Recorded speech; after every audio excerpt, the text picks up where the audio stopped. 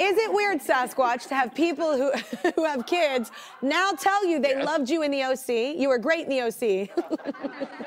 Um, thanks. It is. I, I guess. I mean, I'm older too. I have kids, so I, I we've all gotten older. Um, I guess maybe in terms of the timeline, it's a little funny when I think I'm old. I think I'm younger than someone, and they're like, "Oh, I grew up on that show when I was, you know, and it really got me through junior high." And I'm like, "Oh, I'm much older than you. Oh, interesting."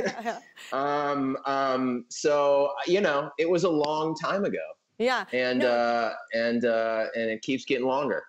That's uh, yeah. Well, it's gonna. Yep, I'm still here, just waiting for you to subscribe. If you don't, I'll be trapped in this box forever. Help.